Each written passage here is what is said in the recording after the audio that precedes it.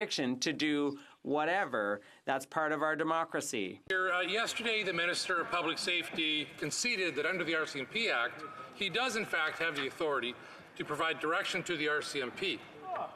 When the Prime Minister finally, well, will the Prime Minister finally show some real leadership and instruct his Public Safety Minister to direct the RCMP to enforce the law and safely end these illegal blockades?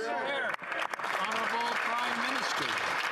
Mr. Speaker, politicians don't order the police around in operational matters. Uh, that is a well-established principle in our democracy. We are working uh, with all partners across the country to uh, resolve this situation peacefully and rapidly. Uh, that is what Canadians expect because Canadians are, are hurting, Mr. Speaker, from disruptions to shortages uh, to layoffs. This situation is unacceptable. That, why, that is why we are doing everything we can to resolve it as quickly as possible. Honourable member for Carleton.